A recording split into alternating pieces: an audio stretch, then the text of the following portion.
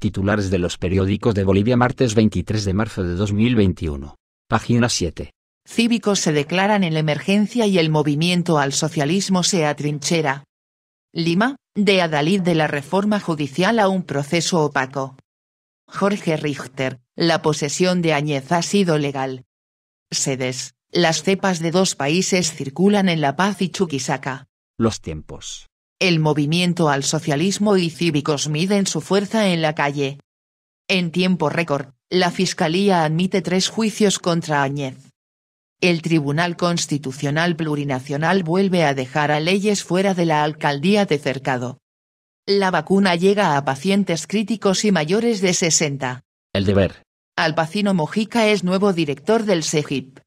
Gobierno y cívicos miden fuerzas mientras avanza juicio a Geanine. Sedes priorizará vacunación en las fronteras cruceñas. Segundo premio para boliviana en cinematografía española. La razón. Comunidad Ciudadana apoya a opositores al movimiento al socialismo en segunda vuelta. FICER exige una cláusula de indemnización a cargo del Estado y las vacunas están en duda. La Fiscalía admite tres acusaciones contra Jeanine Añez. Contra el golpe. La patria de Oruro. Oruro revive la leyenda del carnaval con las cuatro plagas en el monumento a la Virgen del Socavón. Un año más sin mar y la esperanza no muere. Se desaguarda la llegada de las vacunas COVAX a Oruro. Médicos exigen al gobierno convocar a diálogo para tratar la ley de emergencia sanitaria. Correa del Sur de Chuquisaca.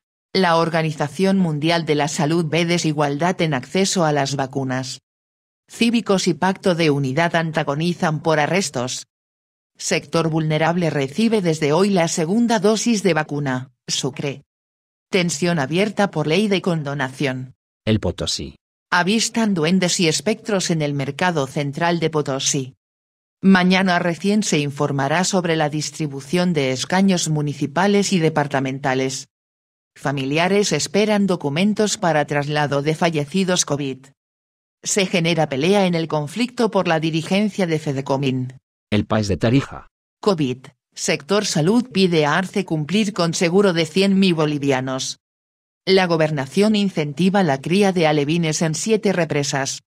Construcción del tramo Achera y Choere registra 20% de avance. Distrito rechazan manoseo en Feldjube y llama a elección. El Diario de la Paz. Chile le debe a Bolivia 122 kilómetros de costa.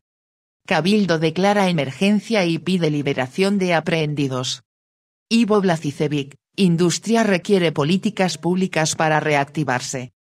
Pati recibió bolivianos 1,4 millones por proyectos que están inconclusos. Opinión de Cochabamba. Ariel intentó proteger a su hermana del hombre que lo emboscó y mató. Clases presenciales, pero sin maestros. Caso golpe, admiten tres de cuatro juicios contra Añez. Cívicos y Movimiento al Socialismo mantienen la tensión. Tribunal Constitucional Plurinacional revoca restitución de leyes, él espera notificación y Concejo busca nuevo alcalde.